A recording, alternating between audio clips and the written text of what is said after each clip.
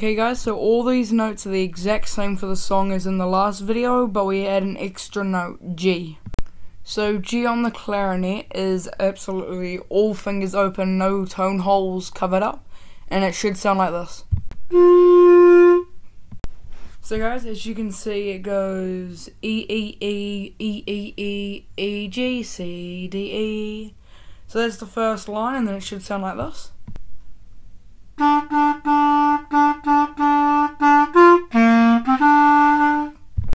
Okay, so as you guys can guys can see, it goes F F F F F E E E E E D D E D G, and it should sound like this.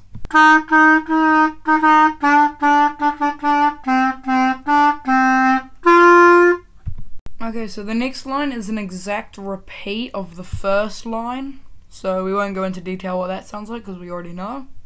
Okay, guys, so the last line, goes if if line goes F F F F E E E E G G F D C, and it should sound like this.